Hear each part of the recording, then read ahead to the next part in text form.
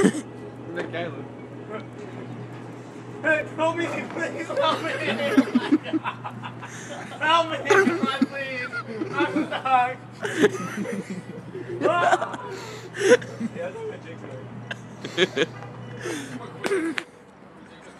jigsaw.